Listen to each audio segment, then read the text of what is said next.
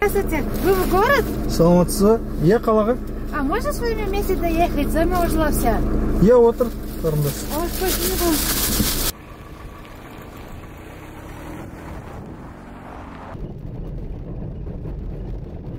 Я долго стояла, долго ждала, когда автобус приедет. Сейчас, кажется, автобусы не ездят, да?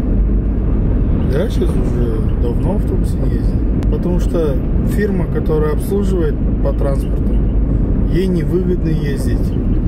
Людей мало ездит. Если ездят, одни льготники, пенсионеры ездят.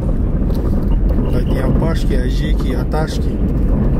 Им невыгодно обслуживать. Да, надо заботиться о стариках. Почему не хотят заботиться? Да что о стариках сейчас?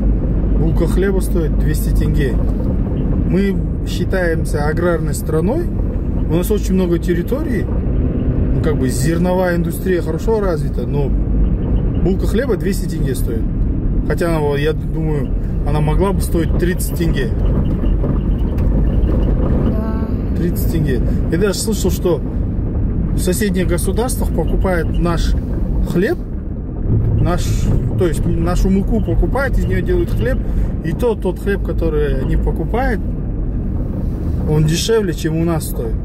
На что- о чем можно говорить? Ну, Я надеюсь, конечно, намного лучше станет, но постепенно все дорожает, эта инфляция все съедает, цены поднимаются. Ну, нам здесь жить, мы здесь живем, мы здесь останемся, как бы.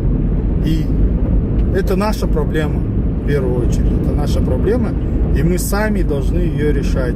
Да, Так как мы аул, здесь живем. поселок. Да, так как мы здесь живем.